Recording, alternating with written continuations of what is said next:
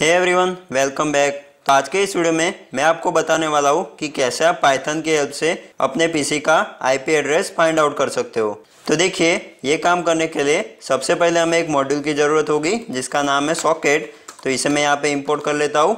अब देखिए, आपको यहाँ पे एक चीज़ फाइंड आउट करनी है, जो कि है होस्ट नेम तो होस्ट नेम क्या होता है? आपके पीसी का नाम। तो यहाँ पे मैं इसे फाइंड आउट करने के लिए यहाँ पे एक वेरिएबल क्रिएट करता हूँ होस्ट नेम और यहाँ पे लिखूँगा socket dot get host name तो ये मेथड मुझे रिटर्न में होस्ट नेम देगा।